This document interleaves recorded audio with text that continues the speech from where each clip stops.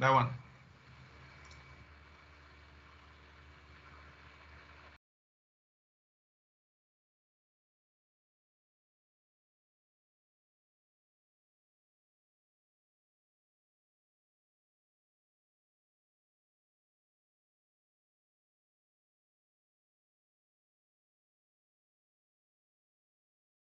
of this year's development report of the Asia Pacific countries with special needs, titled Leveraging Ocean Resources for Sustainable Development of Small Islands Developing States.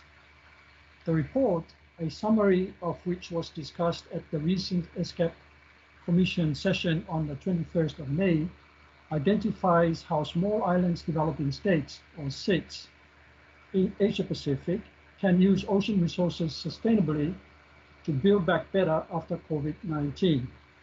I am Joseph Maiava, head of the Pacific Office of the Economic and Social Commission for Asia and the Pacific, and I will be moderating today's session.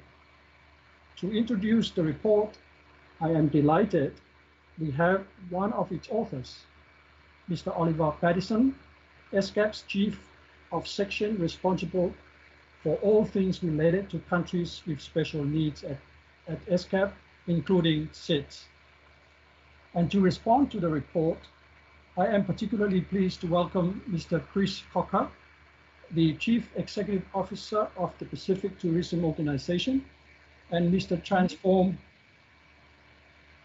Aqorau, CEO, Ituna Intel and Foundation and Director of Pacific Catalyst, also the former head of the parties to the Nauru Agreement, legal counsel, and, uh, and uh, legal advisor for the uh, Forum Fisheries Agency and the Pacific Islands Forum Secretary.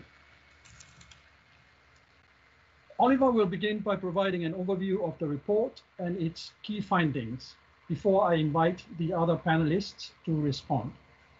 We will then move on to a question and uh, uh, discussion and question and answer session uh, you can uh, ask questions while the presentation is ongoing through the YouTube channel to which there are links on the UNESCAP website. Or you can send us an email, escap-scas at un.org. You can also follow us on Twitter at UNESCAP, pound CSN report. We will collect your questions and feed them into the discussion. Oliver? Over to you for your overview presentation.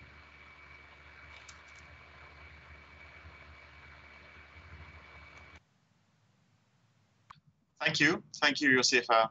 Thank you for, for the introductory remarks. Um, let me move on to the presentation. Um, ladies and gentlemen, dear viewers, it is my pleasure today to provide an overview of the Asia Pacific Countries with Special Needs Development Report, which is entitled Leveraging Ocean Resources for Sustainable Development of Small Island Developing States. This report is one of ESCAP's flagship publications. The report series focuses only on countries with special needs which was a group of countries comprising least developed countries, landlocked developing countries, and small island developing states, SIDS for short. We focus on these countries as they lag behind the other developing countries in the region in various aspects. For example, in least developed countries, the rate of extreme poverty today is more than twice the average of developing Asia Pacific economies.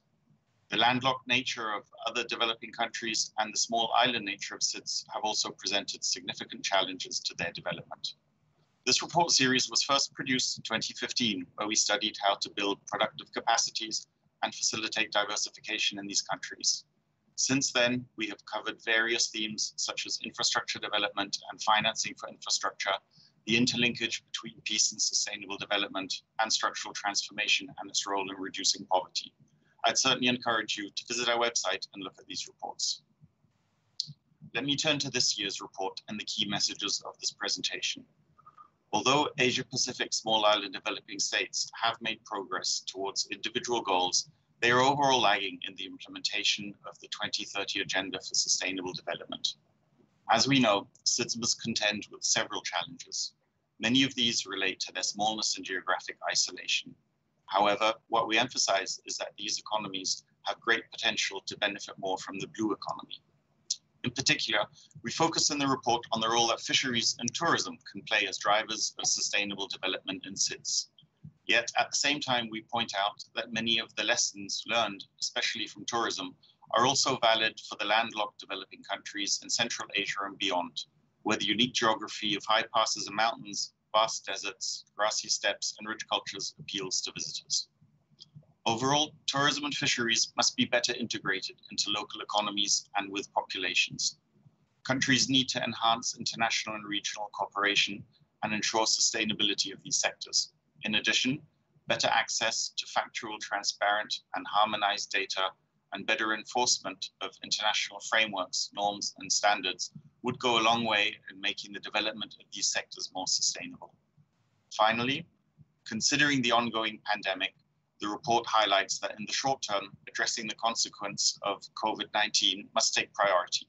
Targeted fiscal and monetary support measures will be necessary to support affected businesses, such as in tourism-related services and in fisheries.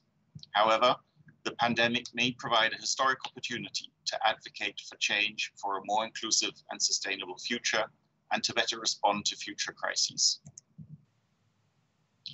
The first chapter of our report highlights why ocean resources are critical for the sustainable development of small island developing states.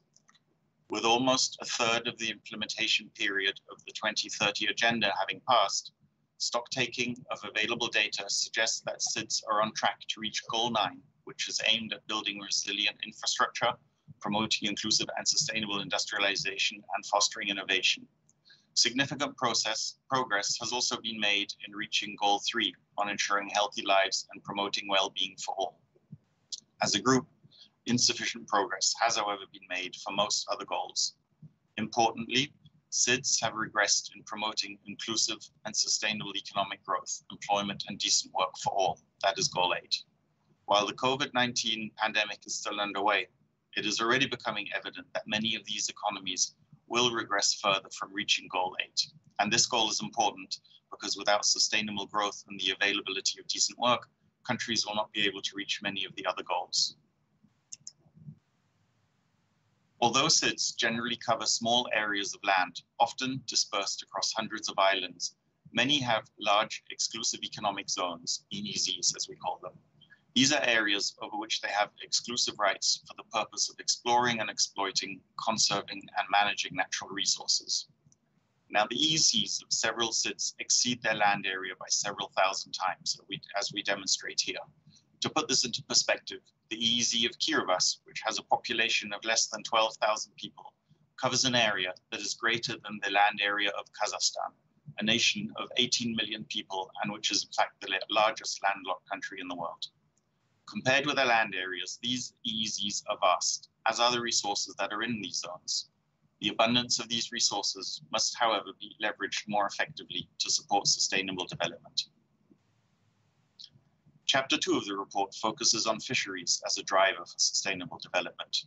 Fisheries, which can be broken down into offshore, coastal, aquaculture, and freshwater fisheries, are extremely valuable for SIDS we can see that offshore fisheries in the Pacific is by far the most important of these in terms of value of fisheries production. In fact, the Pacific subregion provides approximately 55% of the world's tuna supply. Overall, fisheries provides employment, government revenue, and food, thereby contributing to reducing household poverty in the region. Access fees that vessels from distant water fishing nations are charged for fishing in SIDS EEZs are often the main source of public revenue for many governments. Fisheries contributes as much as 75% of government revenue in Kiribati. In Asia and the Pacific, the health of oceans in general and fisheries in particular is fragile, and the challenges of sustainably managing fisheries are intricately linked to the sustainable conservation of oceans. An important threat to fisheries is, of course, overfishing, as the very nature of fisheries as a common property resource that is depletable constitutes a true tragedy of the commons. This we highlight explains the overexploitation of coastal fisheries and in the high seas. Climate change is also a significant challenge. Warmer air and sea surface temperatures, ocean acidification, rising sea levels, and greater rainfall are expected to cause significant losses of coral reef, mangrove, and intertidal habitats, and these provide important shelter and food for coastal fish and shellfish. Another expected impact is that the main tuna stocks may move towards the high seas, out of the exclusive economic zones of many SIDS. This highlights again that the impact of climate change on fisheries is asymmetrical between those who suffer its effects and those who caused it. Institutional or regulatory features may also have a considerable influence. For instance, climate change mitigation requires global collaboration among countries, and this clearly remains insufficient today. Despite the importance of fisheries to the economies and social well-being of Asia-Pacific communities, particularly those of SIDS, substantial data gaps remain, preventing the effective management of fisheries. For instance, there are no data available for fishery-related sustainable development goal 14 targets, except one, which is 14.4, sustainable fish stocks. So if we look at some recommendations of this chapter to address these challenges, we do put several forward. For one, conservation projects are needed to prevent the depletion of stocks and to preserve natural environments. Marine protected areas and the improved monitoring of illegal, unreported, and unregulated fishing can play an important role.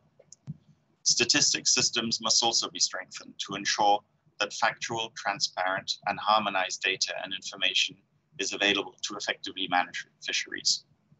Governance must be improved to ensure that global conventions are effectively implemented. Doing so requires engaging all ocean stakeholders, and this would in fact foster a sense of ownership and possibly increase awareness of the consequences of marine resource depletion. Finally, we point out in the report that regional cooperation is especially important given the nature of fisheries as a common property resource. There are two initiatives that we highlight, for instance, that have been quite successful on a sub-regional level for managing fisheries. These are the harmonized minimum terms and conditions of foreign fishing vessel access, which specifies consistent conditions across the sub-region of the Pacific, and the Nauru Agreement, which introduced the vessel day scheme, which has been instrumental in, in um, fishing stocks and EEZs. I'd like to now turn to tourism as a driver for sustainable development. As we know, the immediate impact of the COVID-19 pandemic has already been felt through a sharp decline of international inbound visitors to Asia Pacific SIDS due to quarantine measures, travel bans, and border closures, both in tourist source countries as well as in destinations. Many cruise lines have been forced to temporarily, temporarily shut down their operations in a bid to reduce the spread of the virus. According to the latest estimates, international tourist arrivals would decline by between 60 to 80% globally in 2020. This would translate into a loss of between 910 billion and 1.2 trillion in tourist receipts globally. Now, ESCAP has established a website dedicated to providing updated information on the pandemic situation in Asia and the Pacific. We've also written a number of policy briefs and blogs. Um, and for those who are interested, I've put a link here on the website to the slide a link on the slide to this website. In the medium to long term, however, the report highlights that Asia Pacific small island developing states have several opportunities to further develop the tourism sector, particularly with regard to increasing disposable income of a growing middle class in Asia and the Pacific. Tourism clearly remains an important driver of economic growth. It could increase economic activity, create and sustain jobs, attract investment, and reduce poverty for Asia Pacific SIDS, tourism is one of the most economically viable sectors. And I say this despite the short-term short disruptions caused by the pandemic. Tourism is already the largest economic sector in the Cook Islands, Fiji, Maldives, Palau, and Vanuatu. In 2018, tourism employment comprised 45% of Palau's workforce, as we can see on the left-hand graph and it exceeded a workforce, um, a third of the workforce in Niue, Cook Islands, Vanuatu, and Fiji. Uh, moreover, growth of international arrivals to Asia Pacific SIDS was significantly higher than for other subregions in the world, and it increased in the Pacific region by more than 80, 86% during the decade up, leading up to 2018. There are, of course, several challenges related to the sustainability of the tourism sector. These include economic sustainability, which depends on the strength of linkages between tourism-oriented sectors and other sectors. In many economies, for instance, tourism remains an enclave industry with few backward linkages to other domestic activities. A second challenge relates to the concern about environmental sustainability, as overexploitation by the tourism sector can threaten fragile ecosystems. And a third challenge is socio-cultural sustainability, which is particularly relevant for Pacific SIDS, where diverse and unique indigenous cultures may come under threat through the negative impact of over-tourism. Turning to policy recommendations, the report highlights that the link between local populations and the tourism sector should be strengthened to enable local communities to benefit more. This means not only building backward and forward linkages, but also developing local content intensive tourism types, such as marine tourism and culture-based tourism. Countries should also consider generating additional revenues by introducing green taxes, fees, and other special mechanisms with an explicit objective of supporting environmental conservation. There are a number of good examples that can be followed, and we highlight these in the report. Finally, regional cooperation should promote a common Pacific brand to raise the global profile, to improve connectivity, and to enhance collaboration among states to address gaps and loopholes in revenue generation. For instance, regional cooperation can be useful to collectively explore small Pacific-wide common sustainable development fee on inbound tourism. Coming to the overall conclusions of the Asia Pacific countries of special need development report, we point out that while Asia Pacific SIDS have made progress towards some of the sustainable development goals, now is the time to accelerate action to implement the 2030 agenda. Fostering their tourism and fisheries sectors is a promising way forward for SIDS to capitalize on their natural endowments. There are, however, several overarching challenges that need to be overcome.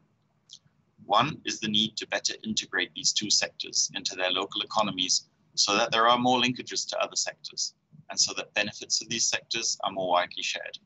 Part and parcel of this is, of course, that steps must be taken to ensure the sustainability of these crucial sectors. For one, this re requires that international and regional cooperation is enhanced. The Nauru Agreement concerning cooperation in the management of fisheries of common interest is, for instance, an example of successful cooperation. Another step is related to the lack of factual, transparent, and harmonized data. Such data are necessary to fully understand the status of fish stocks and fishery practices and to effectively manage the sector. Finally, the numerous international instruments that have been put in place to create amb ambitious targets for the protection and sustainable use of ocean resources need to turn into tangible results. This, however, depends on government abilities to enforce rules and to anchor time-bound targets in national regulatory frameworks. In the short term, the priority is, of course, to address the consequences of the COVID-19 pandemic. However, this provides a historic opportunity to advocate for change for macroeconomic choices that are pro-environment, pro-climate, and pro-poor, and that place people's rights at the center. Also, greater investment in public services can be called for, calling for fiscal policies and other measures that curb equality. If it spurs progress on the global roadmap for a more inclusive and sustainable future, it may provide the opportunity to better respond to future crises. So I'll end my presentation here. Um, I thank you for your for your attention, and uh, if you would like to pose any questions, here is the link um, taking you to the website or the email address. Thank you very much.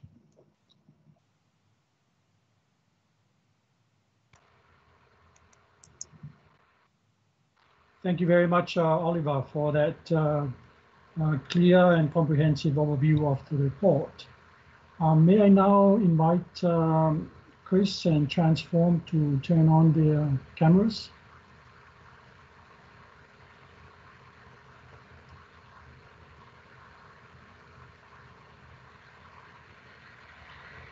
All right, thank you very much.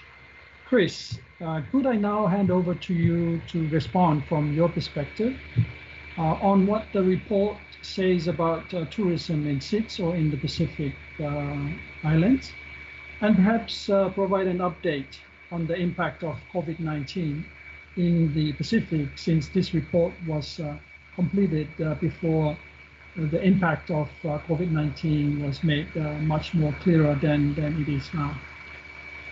Thank you, uh, Josefa, and warm Pacific greetings from SPTO. Um, I'm Chris Cocker and the CEO of the Pacific Tourism Organization. And first and foremost, I'd like to congratulate UNESCO for launching this valuable report during these uh, challenging uh, times that we are facing. And on behalf of SPTO, I'd also like to thank you for the opportunity to participate in this auspicious event. The timing of the report launch is crucial because tourism is the hardest hit sector globally and within the Asia Pacific region. And the following key areas um, are areas that will probably that I'll highlight in my response are important areas that we value from SPTO, uh, especially from this report. But before I, I continue, I just want to give a brief of who SPTO is so that, um, that those who do not know who we are, I have a better understanding. We're an intergovernmental body for tourism marketing and development in the Pacific and our vision is our Pacific Islands empowered and benefiting from sustainable tourism. So we have strategic partners from international partners right through to NGOs. We have 145 private sector members, and we have 20 Pacific Island country members, ranging from Rapa Nui in the east to Marshall Islands in the north, and to Timor-Leste in the west, and to the Kingdom of Tonga in the south. One of the things that I'd like to highlight is especially um, alluded by uh, Josefa is uh, the what is the impact of COVID-19 in our Pacific Island countries. And SPTO and the New Zealand MFAT um, produced a report a month ago on Pacific tourism COVID-19 impact in the Pacific region. And without doubt, tourism has been one of the hardest hit sectors um, in, in the region in this case. We're at ground zero with uh, tourist arrivals and borders are still closed. 90% of our Pacific employees are impacted, and the most vulnerable destinations are the Pacific nations whose GDPs are highly dependent on tourism, such as Cook Islands, Tahiti, Fiji, etc. The SMEs are the hardest hit, and according to the MFAT SPTO report, potential financial impact over a 12-month period with the seven member countries that were uh, surveyed is in excess of 3.1 New Zealand billion, and this will pro- this will increase with the impact prolonging. We are now experiencing in Fiji and most of our Pacific Island countries the impact on the wider economy, community, and society. So we anticipate a long road to recovery for our Pacific tourism industry and sector in the next uh, minimum probably five years. The tourism sector needs all the help we can receive uh, in moving forward. Um, from the COVID-19's negative impact on tourism sector highlights there is a great need to re-emphasize why tourism matters to Asia Pacific SIDS. And this is from the lens of, of from the Pacific Islands. We are a resilient sector and are quick to recover.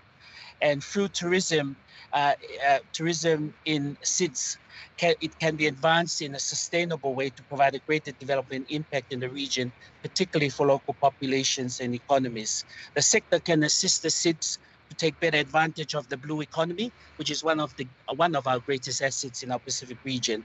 It will also help implement the 2030 agenda and accelerate progress of SIDS towards achieving the 17 SDGs. SIDS development challenges can be met through the structural transformation of Pacific tourism, particularly in targeting niche products and high-end and environmental sustainable tourism services. The sector, of course, we all are aware of is a good driver of economic growth for many of our Pacific Island countries. I would also highlight the report's conclusions, which aligns well with SPTO's strategic plans, priorities, and our COVID-19 recovery plans. Asia Pacific SIDS can take full advantage of their blue economy in a sustainable manner by developing the tourism sector. The second one is data is king for the tourism sector. Data remains a critical barrier to tourism development, particularly many of our countries do not have economic uh, impact data in this case. There's an urgent need to improve data quality, consistency, timeliness, and coordination to inform future planning. And if tourism is to continue to be a driver of sustainable development, it requires stronger links and collaboration at all levels, from international to local communities and individuals. A key area is this is regional cooperation, which provides uh, an important um, factor to the value of SPTO and other CROP agencies in the region. And SIDS can act together to attract visitors, leverage their natural assets and gain collective bargaining power through economies of size and improved air and sea connectivity, which is a, one of our top challenges in our Pacific Island countries. With the issue of COVID-19, this remains our priority in the short term, and it presents a timely opportunity for the world, for the Pacific, and for tourism to advocate for change. The report aligns well with SPTO's COVID-19 recovery themes discussed at the recent SPTO roundtable held last Thursday. And I just want to highlight this because uh, some of the re response recovery themes that fits in well with this report. In the stage of recovery, crisis management and building future resili resilience is of crucial importance. In the stage of response, diversification of products and markets are very important. And investing in creativity and innovation is crucial, whether it's partnerships, connectivity, and marketing, because the world is going to change and we in the Pacific or even Asia Pacific SIDS need to change how we do things. And finally, in the area of endurance, preparing for the future. One of the key recovery themes there is building sustainable futures, focusing on sustainable tourism, SDGs, and transforming to a circular economy. Thank you, Josefa. Thank you very much, uh, Chris, for that uh, very clear explanation of the uh, impact of uh, COVID-19 on the tourism sector in the, in the Pacific Islands in particular, and uh, and the, your views on, on, on what the report says. Uh, I, it is now my pleasure to uh, turn to Transform to respond to the recommendations on sustainable fisheries uh, in the report. Uh, over to you, Transform.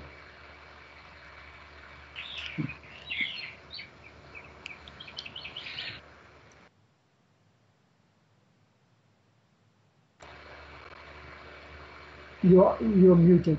Unmute.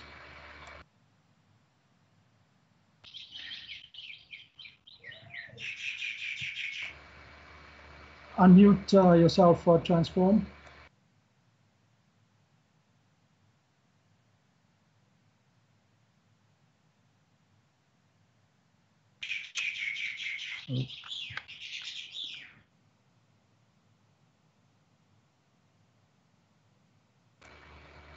Transform, could you uh, unmute yourself, please? Struggling a bit here. All right, you're on.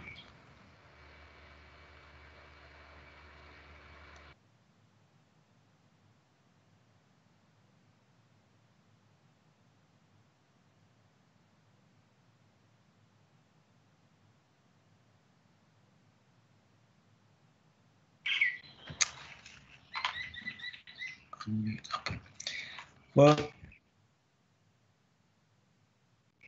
afternoon. I apologize for that. Um, Oliver and Chris and um, listeners throughout the Asia Pacific and wherever who's listening into this uh, presentation. First and foremost, let me thank um, UNESCAP for a very good report and it's timely uh, given the situation that we've, we're faced with at the moment.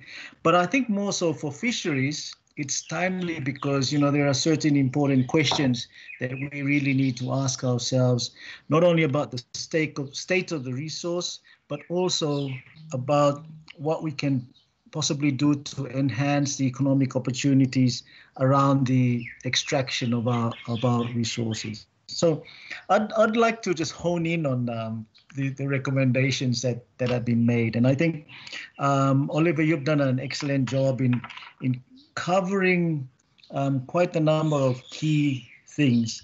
Um, first and foremost, in the report, um, adequate conservation efforts is, is critical.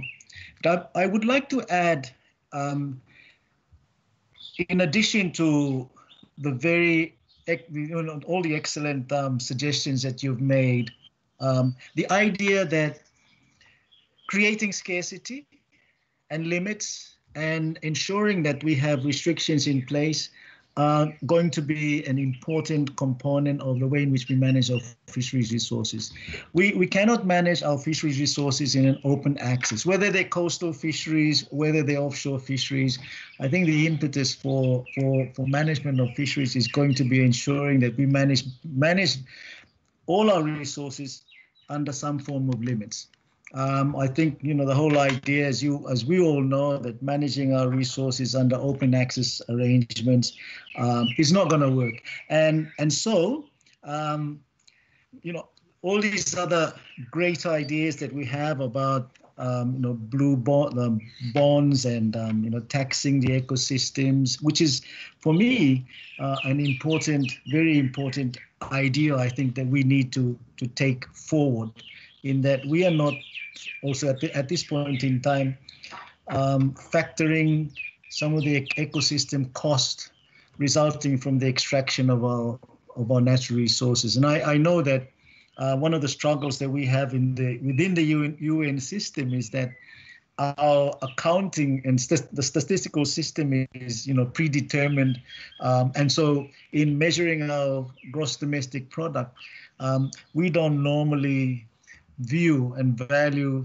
the ecosystem's value of and the contribution that the ocean has on on livelihoods. And so we normally just tend to look at what the the, the profit and the, the contribution is to the gross domestic uh, product. But um, i just wanted to say that i think creating um, having limits first and foremost is is in, is important as a precondition to all the other things that we want to do in terms of enhancing conservation efforts, whether it's debt for conservation swaps and, and taxation and all those. I think underpinning um, management and underpinning any conservation effort is ensuring that we don't have an open open access arrangement. I think that's where the challenge is for us. Um, in the offshore fisheries, you mentioned the the the Western Central Pacific too. Now, I think we've been able to succeed somewhat in terms of ensuring that there are limits in place. But I think for many of our coastal fisheries, um, you know, apart from these territorial user rights, uh, we don't really have uh, limits in place in terms of um, number of fish that you can actually take out of the of the water. And granted, I mean it's not an easy it's not easy to really manage coastlines. Um, Asia, in particular, has you know huge huge challenges in terms of managing their um, their, their, their coastlines and coastal fisheries. But um, there's been some very, very good work that's been going on, which comes down to the next next um, recommendation and next point that you make in the paper. And that's when you when you talk about factual, transparent, harmonized data and information. I think what you're really talking about is data is important for stock assessment. Data is absolutely crit- uh, critical for for fisheries managers to be able to make decisions. And whether it's data in respect of coastal fisheries or data in respect of offshore fisheries, having access to that data in order to be able to translate that and then turn it into stock assessment so that we know exactly how much fish is in the water and then therefore allows fisheries management to make decisions are important. Now, the question therefore, I think, is the investments and you, you um, I'm glad that the, the report um, alludes to in the recommendation that investments in technology. But I, I would actually go beyond just investing in technology. And I think the opportunities is investment in technology through partnerships between governments, between non non government organizations, between communities, between inter uh, government organizations like UN and, and the other uh, RFMOs that we have, and also tech, um, high tech companies. I think we should also recognize that the key drivers of technology are really not government and government institutions. You know, a lot of the research that is done around driving technology is done by the private sector themselves.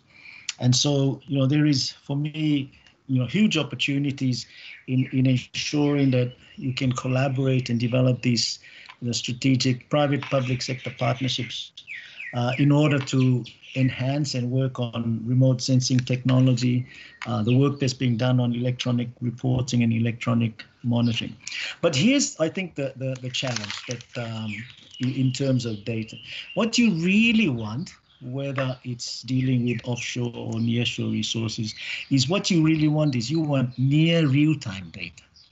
Because most of the stock assessment that's being done on our particularly on our tuna resources. And I, am not really sure if we do actually carry out a lot of stock assessment on our coastal fisheries. I, I doubt very much that there's a lot of, you know, um, a lot of like um, comprehensive um, region-wide data stock assessment on, on coastal fisheries. But what you really want is near real-time resource so that you're not relying on uh, data that is two to three years old in order to tell you what the state of their uh, stock is, which really is not the state of the stock as it is today, but it's the state of the stock two or three years ago. So you know you're not really um, building on um, you know, up-to-date information in order to be able to make effective fisheries management decisions. Um, I'm glad glad you picked up on in the report on the issue of governance. You know, governance is absolutely critical. Um, but here's the story, I think, uh, in terms of um, overall governance and the effectiveness of governance. I think there is a feeling, a general feeling that in order for our resources to be well managed, we need to move beyond governance that just in, involves governments um, as key drivers because the, the key drivers of fisheries management and international fisheries management also are the industry themselves um, and uh, environmental organizations.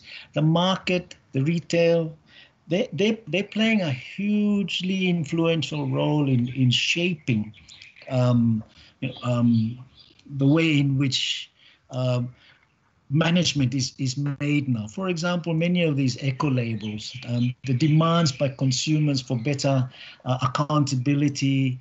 Now we're seeing in the market demands for better treatment of crews. Um, and so these are all imperatives that are being driven largely by the consumers and the markets. So when we talk about governance, I think too often we tend to think of governance in terms of governments but there is a role to play. And I, I know it, it, it's not going to be easy, but I think many of our regional institutions perhaps should be more open and more inclusive and maybe in, in, involve the industry as partners in terms of um, governance and government, government and, and decision making in terms of our, of our resources. Um, and finally, you've made a very good point on regional cooperation. I mean, I think that's that's absolutely critical. It goes without saying, with the challenges we're facing with with climate change, uh, addressing plastics, marine pollution, debris, there, there is there's no way in which um, any company country can can work on their own, um, but to ensure that they they cooperate um, with each other. Um, I think the cooperation that like I'd like to see between the Pacific Islands and and our Asian region is my final point. Is that we tend to, I think for me, I see the Asian countries in terms of our tuna resources, the fringe countries, it will be very powerful if we all brought um, ourselves under the same uh, framework and and run the vessel day scheme. So thank you. I'll stop stop there and um, be you know, happy to take any questions later on. Thank you very much. And congratulations for the report, Oliver and um, Josefa. This is an excellent report that I would commend to all of, all of you who are listening out. Thank you.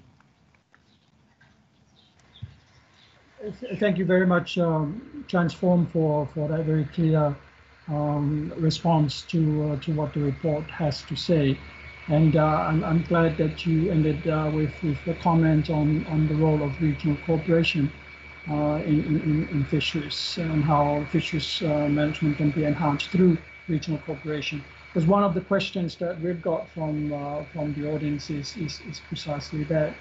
Regional cooperation key for Pacific SIDS uh, in developing tourism and fisheries. Uh, now, can I ask um, uh, Chris to, to if he has any any, any, view on, on, on, how regional cooperation could enhance the, the sustainable development of, of uh, tourism in the Pacific Islands?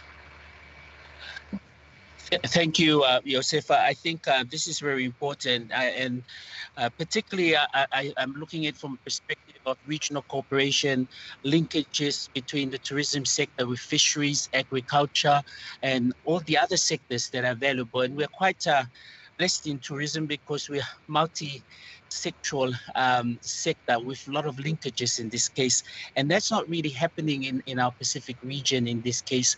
There's still uh, weak linkages between the different sectors. And I think the regional uh, cooperation will bring and enhance and strengthen these linkages amongst um, the, the, um, the different, uh, different uh, region, regional organizations. And I think I'll also sort of further add on to that not only regional cooperation but linkages to Asia, in this case as well as uh, the uh, other international partners, because uh, we in the Pacific have very limited resources and we can't develop tourism on our own. In this case, uh, we need to cooperate with everyone that has um, the same interest and motive in this case in moving us forward. Uh, thank you very much, uh, Chris. That question was from uh, Andrzej uh, Bolesta, um, a research analyst from the Philippine Institute for Development Studies. Um, could I have a follow-up question uh, for you, Chris, um, on, on, on the necessity of the SIDS venturing uh, into tourism industry, given the concerns related to its harmful um, impact on, on, on, on, on, on communities and the resources. Uh, the question is, uh, do you see it as a necessary economic venture for SIDS to engage in tourism industry? More often than not, tourism sector does more harm than good, displacement, exploitation, among others. These SIDS also have fragile yet significant ecosystems.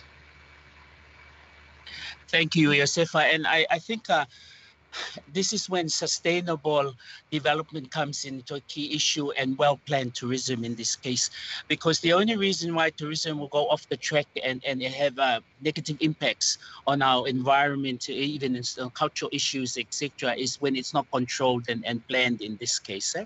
so the issue and that's why it's important that we also uh, link ourselves to driving the SDGs in this case, and also uh, the sustainable uh, issues that we, we would like to, to, to achieve. And I think it also comes down to awareness, uh, increasing awareness amongst our people, particularly the Pacific people, and even our visitors that come into the region.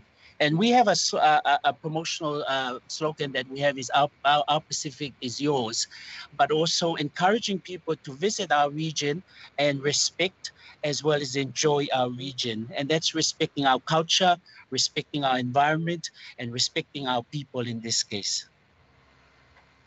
Um, thank you very much, uh, Chris. That question was from Avi Manejas. Unfortunately, we don't have the the uh, the organization. Uh, but uh, so moving on to uh, to back to transform uh, and uh, a question related to fisheries.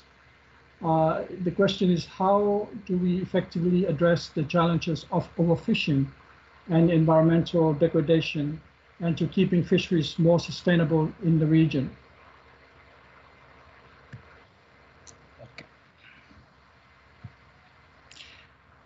Well, I think first and foremost, this this I always like to say that um, it's a natural resource, and you know there are our, our, fisheries resources are subject to what's known as natural recruit, recruitment and you know fishing fishing recruitment. So there's mortalities that are associated with nature. So the fish, they spawn and then they die, and then we also catch um, take them out of the water. So our real challenge is to ensure that we don't take, um, you know, we allow them to grow, but also at the same time we we we don't take um, as much fish out of the water that we then you know reduce their their capability to uh, produce fast enough to then support our an economy whether it's uh, you know profits of, of fishing boats. And so that is that is really the the challenge. And the it's exacerbated by the fact that um, first and foremost we don't actually see the fish underneath the water. And that is why I like your idea about transparency. Um, I made the point about making sure that you have near real-time data so that your stock assessment is is based on what's actually happening underneath the water now rather than you know anecdotal uh, um, information that's two years old and you're making some decisions that are based on an assessment that's um, you know that's that's that's outdated so, you know, that's, I think the recommendation that you've made um, goes to improving the way in which we can then understand the fisheries and then make uh, urgent decisions. But just to answer the question, therefore, is that we as a, we need to then find out and those are there there rules called limit reference points and target reference points and so your your your limit reference points really should be um, the level at which you don't want your stocks to go down. And for the key tuna stocks in the Pacific, I think we've done fairly well in terms of um, developing our limit reference points, and there's some very good good work that's being done on defining what's known as your target reference points and basically your target reference points are the that's the level at which you want to keep your stock around. Um, and so you try and work with with your with other countries, with your scientists, with fisheries management to ensure that your stock is is maintained at a certain level. Now, we've been successful in doing that for for tuna, but I th think for many of our coastal fisheries, it's harder to do, as I mentioned earlier on, it's harder to do, you know, refined uh, assessment. And so I think that's where uh, some of our real challenges lie, uh, especially in our coastal fisheries where they are more subject to customary tenure. Um, you know, the the there's a lot more diversity in the species that you have to manage, um, and so it's it's it's far more complex to manage. Ironically, the, the, the, fishery that is closest to securing and supporting our rural livelihoods and uh, food security than it is to manage commercial fishing that's happening far out at far out at sea. So yeah, um, I think those those are the those are really the I think some, those are the challenges that uh, fisheries managers uh, constantly having to, to to face in ensuring that the stocks remain at a certain level. Okay, thank you very thank much, uh, uh, Transform. Uh, there's a, a, related question while, while, while still on, uh, on, on the impact of uh, COVID-19 on fisheries. Um, is there anything you would like to add uh, on that to what Oliver had already um, mentioned?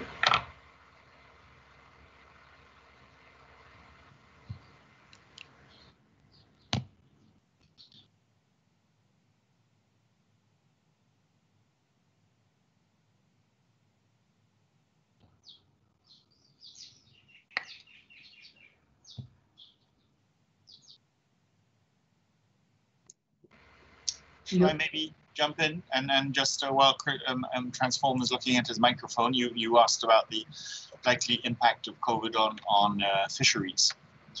Um, so I think I think it's still early days, but of course the the COVID nineteen pandemic is is presenting a, a, new area of challenges for the fisheries industry. Um, because we are seeing a demand and potentially a supply stock at the same time, um, which will of course impact the livelihoods of, of fishermen, but also people participating in the whole fisheries value chain, um, which are under threat in the region. Um, the slowdown of fisheries is, of course, going to affect those countries that rely more heavily on ocean resources. And, and of course, this includes all of the SIDS, where, where fisheries is, is very important. Um, so the demand shock um, is going to be particularly uh, uh, acute because we're going to see um, the impacts of, of on people on boats, those are away for extended periods of time. Um, we might see a negative impact on stocks because there is a risk that there'll be a larger amount of um, illegal fishing simply because enforcement agencies would, would be occupied with uh, a number of domestic concerns during the pandemic. But maybe at the same time, also one could have a um, it might create a small window of opportunity for stocks to recover if there is actually a global slowdown of the commercial fishing industry um, as travel constraints are implemented and as access restrictions and ports are closed, um, which could lead to a decline in, in the um, activity of fishing vessels. So I'm not sure maybe if um, Transform would like to pick up on, on some other issues. Yeah, yeah, I think I think what COVID 19 has revealed for me is the business model and the disruptions in the supply chain, depending on the business model. So, what we've seen in the Pacific is that those countries that have actually, those, those fishing operations that are purely, um, you know, long range distance water fishing nations who just come in and catch and then they have to go into port to then transship their catch, are those, they're the ones whose operations have been most disrupted. Um, but those who have vertically integrated operations like Sol Tuna in Solomon Islands, um, who are processing, they they don't have most of their crews are local crews. Um, they bring the fish back to port, and therefore they then process it, and then they you know they've got their own markets and retailing platforms in in Europe, um, have not been as affected, which then raises for me the interesting question when for us in the Pacific Islands, um, you know in this new normal, uh, it's it's revealing that it's obvious that um, those who are just simply relying on access fees as a means of generating revenue are the ones that are going to be most affected. And so there's opportunities for uh, improvements around things like traceability, digitization of the, the, the, the, business. And so you ensure that there's less disruption on the supply chain. But I think for me, you know, if I can just, if I can be um, you know, just say as, as a Pacific Islander, um, I think this there is an opportunity for us to then explore our own bubble in, in some ways and develop um, an, an industry in which we can promote cross-border investments so that instead of having to rely on these uh, in um, fishing long-range distant water fishing nations that then come in and then transship their catch to Thailand and, and Ecuador, um, there's an opportunity for us to um, have our, our, our, our, tuna that's caught in the region processed in Solomon Islands, in, in PNG and in Fiji, maybe in American Samoa. We've already got canneries in, in the region. And so COVID-19 has revealed to us that the traditional business model of access fees and selling licenses is actually one that is not is the one that's more most affected by by COVID-19, and therefore I think there's an opportunity for for us to explore different ideas and different ways in which, and I think that to me is quite empowering um, if we were to be able to explore that, and um, you know just imagine um, increasing the domestic production of canned tuna, um, but that that is jointly produced by the Pacific Island countries. So, yeah. All right. Uh, thank Thanks, you very much. Uh, thank you, Transform. And uh, perhaps staying with uh, with fisheries uh, and, and the comment uh, made earlier on about bonds and, and, and, and, green taxes. there is a question, perhaps I can post this to both Oliver and, and, and Transform. Um, the report uh, highlights the issuance of the world's first sovereign blue bond by the Republic of Seychelles. Can Asia Pacific SIDS replicate this success?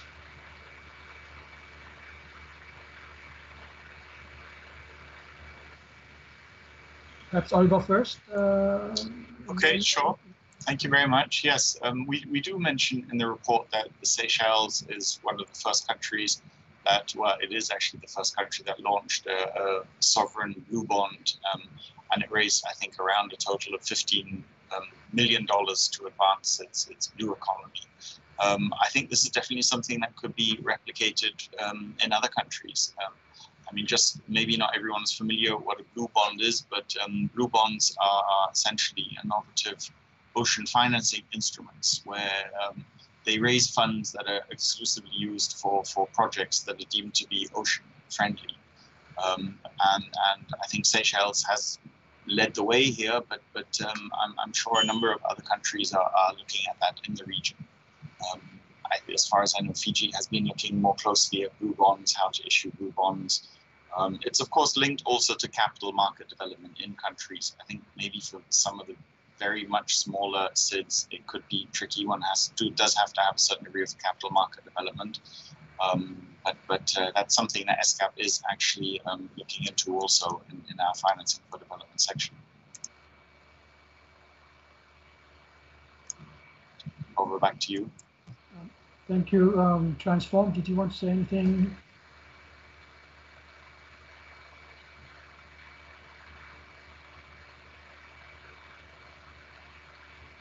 Okay, so while while Transform is trying to uh, to uh, sort out these, perhaps we can move on to uh, to Chris uh, and ask the question about uh, the um, the waste related to COVID-19, whether that has become an issue in in in in, in the Pacific. Uh, you know the like the waste that that that that um, have got to do with uh, with the medical uh, equipment and uh, and the face masks and, and, and and the likes. And is that is that something that is becoming an issue in the Pacific from the point of view of of, of, of cleaning clean environment for tourism? Uh, thank you, Yosefa. Um, to answer your quest- question, frankly, uh, we have not yet received any uh, any um, information on race related uh, because of COVID-19 um, masks, etc. But it's something that we can also work and check with SPREP on, uh, particularly on, on the waste that's created by that. But uh, one of the things that we've experienced because the whole world has come to a standstill uh, with no traveling etc and all this um, the wastage factor from from cruise ships uh, and all these other key uh, even airlines etc have come to a stop in this case which is a blessing to our environment. But uh, we have yet to see anything from from what you've highlighted on waste from uh, covid-19 um, resources Okay. Uh, Yusuf, can you hear me now? Yes, yes, I can hear you now. Go ahead. Okay. So yeah, I, I was just going to say that in terms of the opportunity for, for investments in, in blue bonds, I think there is an opportunity for those countries who are, are parties to the Nauru agreement for the vessel days. And so maybe I think there's there's been some attempt um, collectively for uh, a project to, to look at the capitalization they call it a capitalization project. Unfortunately, that did not go very far uh, in terms of um, the enthusiasm by by the office and also I think a number of countries. But having said that, there is still an opportunity um, for countries, individual countries, to perhaps look at their vessel days day and maybe capitalize it, convert it um, into um, a national asset so that it does show as part of the uh, it could show as part of the books. Um, and maybe use it to leverage um, and use it as collateral for for loans um, and blue bonds and, and so on and so forth. So um, it's an idea that I have actually sold I've sold to our minister for finance but there's bit there's some analysis that that can be done behind that to see whether or not it will work. But I think there is some some real opportunities to, to do that. Thank, thank you very much, uh, Transform. While I uh, while I have you on the, on, on, on, on, on my uh, Transform, you know your your comment early on about the more sort of uh, um, domestic uh, based uh, industry or, or development um, based on, on, on the islands. Are there any limitations to that strategy that uh, um, can be addressed or, or, or, should be addressed? I, we have six canneries in the islands. So there's four, I think, in PNG. There's one in Solomons, Fiji, uh, American Samoa. So we do have um, I don't know whether we have capacity to to convert all the tuna that's caught in our waters, um, you know, you know, in the canneries that we have, but we do actually have the capacity.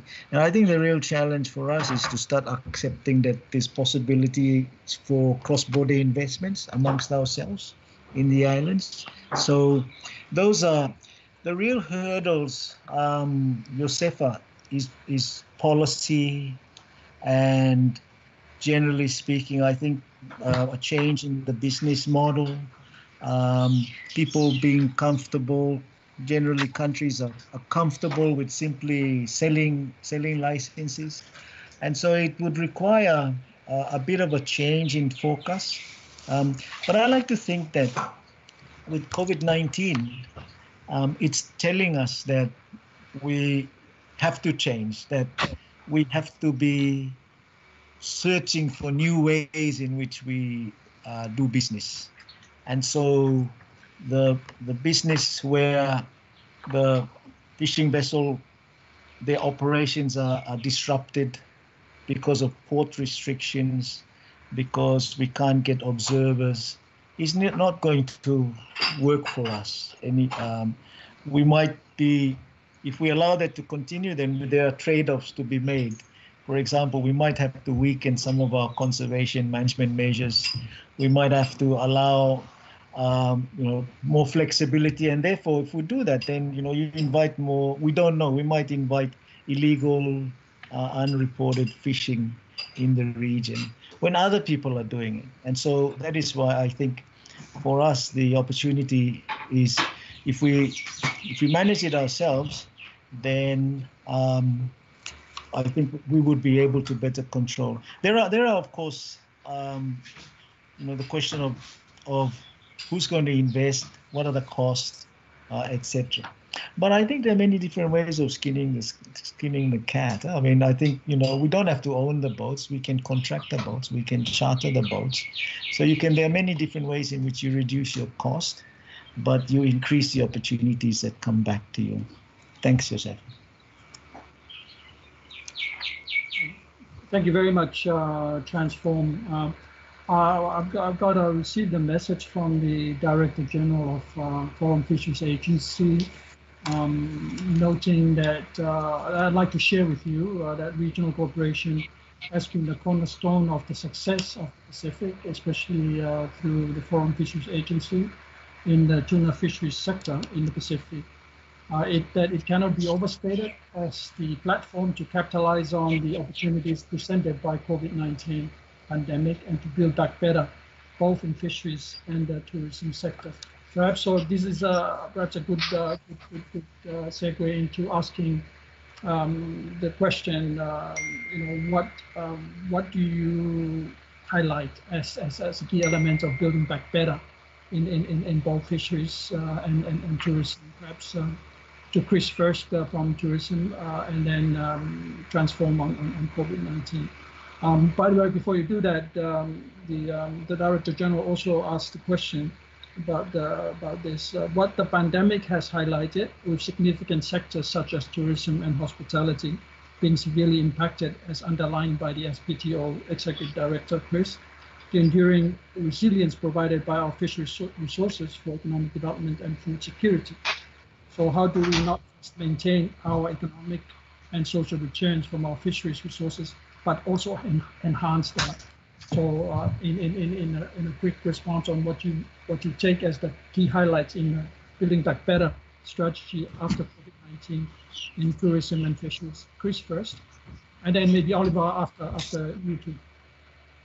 Yeah, th thank you, Yosef. I think uh, quite simply and also just uh, reiterating what I said in, in my presentation, um, it, it's basically crisis management and building future resilience because uh, uh, we need to build our resilience because there may be uh, future pandemics or even uh, more natural uh, um, disasters that may come in the future. Uh, diversification is very important and innovation, uh, especially when the world has definitely changed and need to change the way we're doing things. And, and finally, I think uh, building sustainability or sustainable futures uh, and, and looking at uh, sustainable tourism SDGs and also transforming to more circular economy.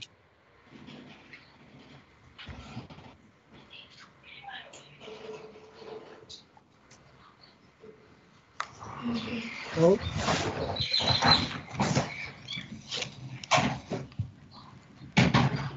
Transform? Hello? Uh, can you hear me? I'm sorry, I've, I've been I'm struggling a little bit with my with internet access and, and broadband. So I've actually missed a lot of what's been what's been said earlier on, and you've all all gone off the screen too for for me. But um, yeah, I, I actually missed the point that you made earlier on. Um, I'm just assuming that the comment made by Manu was pointing out the importance of regional cooperation. I think um, I just wanted to say yes, it is an it, it is an important um, I think point, but I think maybe just to point out also that um, you know there are certain things that for which we can we can cooperate more successfully than others. Um, I think in terms of compliance and enforcement, that is a, a very um, critical critical. Um, you know, we've been able to succeed in in um, in incorporating through effective developing effective um, uh, um, monitoring, control, and surveillance measures. I think my recent, um, more recently though, um, we have not been as successful in terms of developing um, for example, the the Southern Albacore group are still it's still work in progress, whereas you've got the PNA who've been very successful with with skipjack. So you've got um, you know you don't have one size that that fits all. So when we when we develop these regional measures, we always have to ask ourselves, you know, what is the common currency that uh, that countries or, or grouping of countries um, have, for instance. So um, cooperating with Indonesia and Philippines, for example, might not be in the interest of all the Pacific Island countries, might just be in the interest of some of those who have, a, you know, with share uh, common interest with skipjack. Um, but there might be other areas that you could perhaps um, collaborate with the Asians. So I, I don't know if you picked that up, um, Josefa. I do sincerely apologize. My screen and um, sound system is really playing up. So I'll, I'll stop there. Okay, thank, thank you, Transform. Uh, could I just check with Oliver if, if, if things are, are, okay from that, from your side, because um, something is, is happening with my screen as well. Oliver, can you, can you hear? Yes, everything is fine from this side. Thank you. All right. So there, there, there is a another question uh, that was uh, meant for uh, what transform, uh, which is uh, what would be your view on increasing value added for tuna fisheries for Pacific Islands, given that the uh, price of tuna can vary widely depending on how you fish, how you process, etc. Okay. Um, thank you very much for that. Maybe I'll answer that question in two parts. First, I will do a bit of self-promotion um, and also point out that there is a lovely book that was launched last Friday by the Australian National University, um, authored by um, Wan Transform Aqorau, in which we in which I I looked at the the way in which we increased the value of tuna from 60 million to half a billion um, from 2010 to 2017, and therein uh, uh, some. But I think the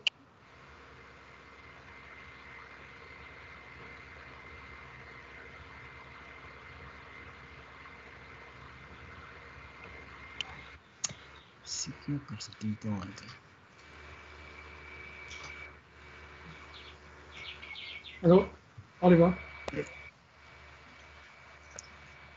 I think Transform has muted himself.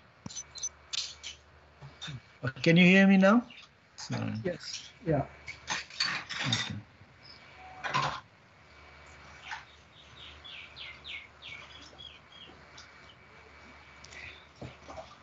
Okay. Okay. Um. Yeah. If I if I can just say the um. In order to do that, I think that the most important thing in order to increase revenue is to look at the look at the design of the instrument that you have, and for now, we have the vessel day scheme, and so limits and created a, a separate market that is distinct from the price of the price of the fish. And so um, I that that particularly um, you know they've been able to the PNA have been able to do that quite successfully, but I think it can there's potential for to look at other things like transferability with the other uh, Pacific Island countries and also Asian countries. Um, I think but the important thing is is is in the design of of the instrument.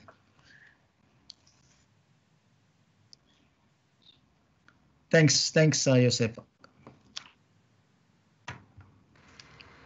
all right, um, thank you, um, Transform. I just wanted to check with Oliver if he has anything to add uh, to that.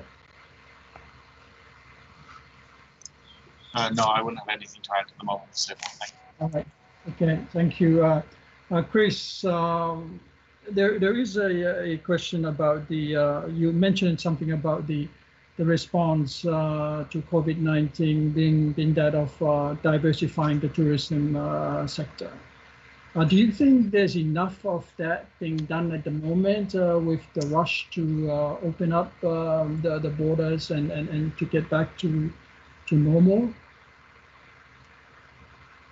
Uh, thank you, Yosefa. And I think um, uh, just to reiterate the diversification, it's diversification of our source markets. At the moment, you most of our tourism uh, arrivals are from Australia and New Zealand uh, to the Pacific, which is around 50%. So that's diversifying to other markets because when it happens, when um, when crisis happens like this, uh, of course, uh, our closest neighbors, um, there's uh, the borders are still closed in this area, and also the diversification of our products. And at the moment, most of our tourists are just focused on leisure tourists, which is sun, sand, sand and sea. So in that area, there's there needs to be more done in diversifying into niche products, whether it's cruise-based or marine based or sports tourism based, etc., culture based. So there needs to be uh, more diversification, and I think it's it's a process um, that we'll go through as well as um, uh, learning from best practices and experiences that are happening. And under um, SPTO's new strategic plan, there is a encouragement for diversification, and also we are currently uh, developing a regional sustainable framework that will also help that as well, particularly um, the the niche market segments looking at high value, low impact, uh, and and trying to move the the tourism industry from just uh, looking at um, high volume, low impact, uh, uh, high volume, low yield to high value and a low impact. Uh, thank you, Chris. Um, the, the, the, report does raise um, some questions about the uh, actual impact or the value of, of cruise, uh, cruise uh, tourism. Uh, is there anything you'd like to say about that, Chris? Um, yes, um, if uh, just for the benefit of our, our listeners as well, 90% uh, of the cruise arrivals in the Pacific are just focused on three countries, which is New Caledonia, Vanuatu, and Fiji in this case. So it's very unevenly distributed. So there's an, a, a need to actually distribute this more evenly amongst our countries.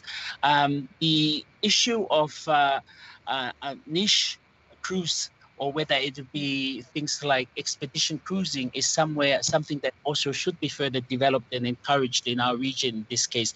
At the moment, uh, the cruise that come into our Pacific Island countries are large cruise ships, etc.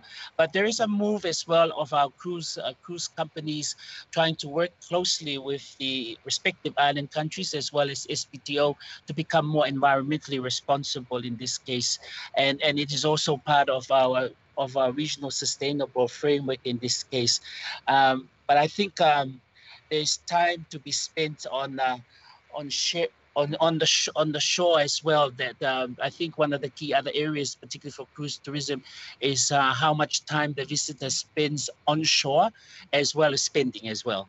Uh, so if, uh, that means that if they have more activities to spend in, uh, and also a duration of the time they spend, so that there is also more um, value of, of in terms of what they can uh, contribute to the to the respective islands. All right, thank you very much, uh, Chris. Uh, let me now thank all our panelists and experts for their contribution, Chris and Transform, and of course, Oliver for their, their contribution today. I'm afraid that is all uh, we have time for today. for the audience, our listeners, if you have further questions, do send us email escap-scas at un.org. Uh, let me now hand over to my colleagues to say their goodbyes. Oliver? Yes, I'd like to thank um, also Chris and Transform. Thanks for participating in this launch of the report. And uh, thank you, Josefa, for, for moderating this. Um, it's it's been a long road to bring this report out, but uh, it's it's uh, something we'll carry on disseminating the report um, through individual policy dialogues in some of the Pacific countries and and also uh, the two SIDS which are outside of the Pacific. Um, so we hope to get some some of our key messages across, and uh, we look forward to work, working working with you in the future. So thank you very much, and uh, of course thank you to the viewers for watching and, and posing some of the questions. Thank you. Thank you very much. Thank you to our viewers. Goodbye.